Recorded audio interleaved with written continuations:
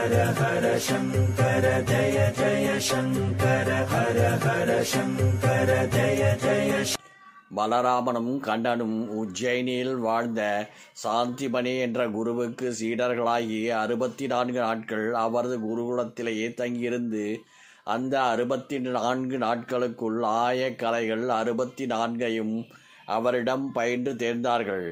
கல்வி கற்கும் நேரம் போக மீதமுள்ள நேரங்களில் குருவுக்கு அனைத்து விதமான பணிவிடைகளும் செய்து வந்தார்கள்.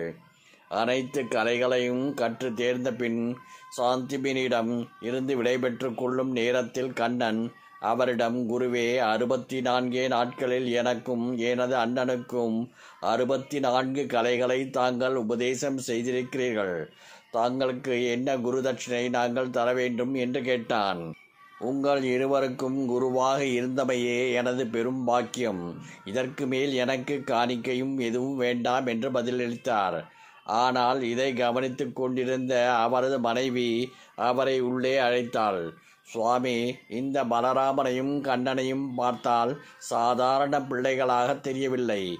இவர்கள் தெய்வீக புருஷர்கள். அதனால் தான் அறுபத்தி நான்கே நாட்களில் அறுபத்தி நான்கு கலைகளையும் இவர்களால் கற்க முடிகிறது.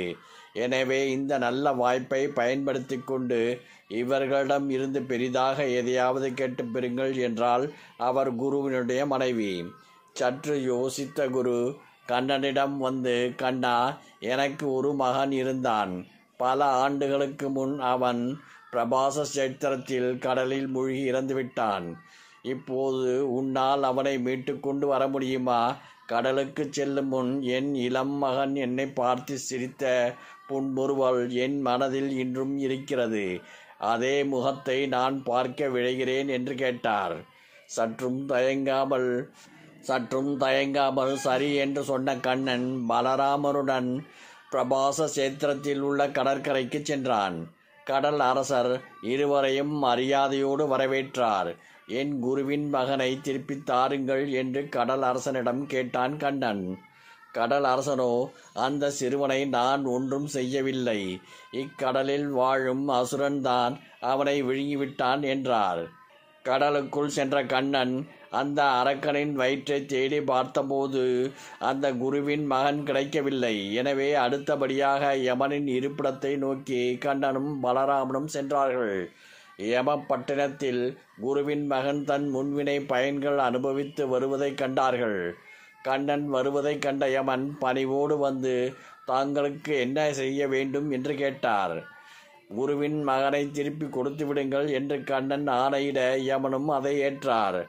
அப்போது பலராமன் கண்ணனிடம் நம் குரு தன் மகன் இறந்தபொழுது எப்படி இருந்தானோ அப்படியே வேண்டும் என்றல்லவா? கேட்டார். இப்போது இந்த சிறுவனின் தோற்றம் மாறி இருக்கிறதே என்று கேட்டார். தனது சுதர்சன சக்கரத்தை சுழற்றினான் கண்ணன். இறப்பதற்கு முன் இருந்த அதே இளமை தோற்றத்துக்கு மாறினான் குருவின் மகன். அந்த மகனை குருவிடம் ஒப்படைத்து குரு தட்சிணையை செலுத்தினார்கள்.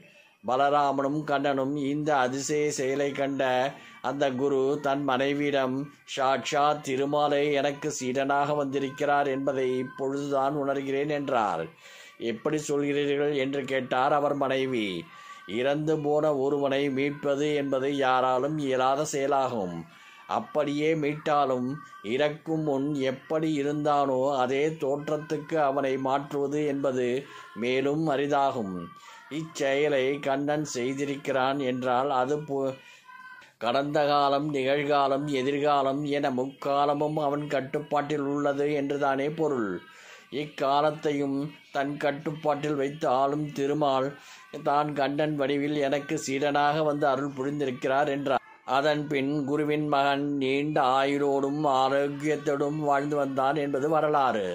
हर हर शङ्कर जय जय शङ्कर हर हर शङ्कर जय जय